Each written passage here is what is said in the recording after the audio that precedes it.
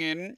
First time he's drawn down this close to the inside in his short career. Light on. $1.45 the fave Selmo. We're ready to go. Late mail is for Thunder King.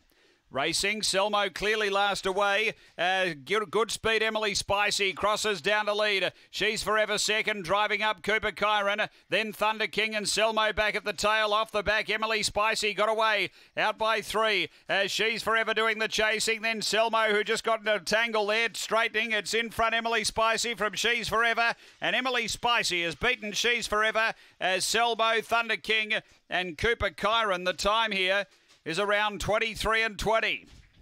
After the running of race number two, Emily Spicy, uh, she had the pace, got over, and has been too good here for Judy Hurley. Numbers are 7, 8, 1, and 4.